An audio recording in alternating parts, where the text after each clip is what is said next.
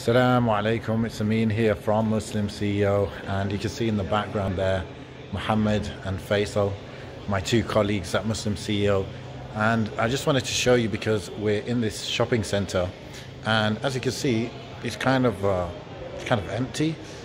There's no one here. Not not one person here except of course for them. And it's because it is 9:30 p.m. and we are still here working.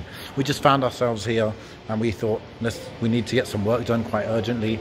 And as you can see, my eyes are kind of red and this sometimes just what's required, I suppose.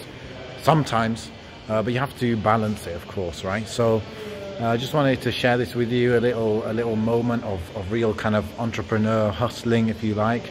It's not something that we kind of believe in as a principle, but we do recognize that sometimes it's just required to get the job done, right? So I hope uh, I hope really the work we're putting together and, and, the things that we're doing, the content we're putting out there is really uh, benefiting you. You're finding some little nice tips and insights from it.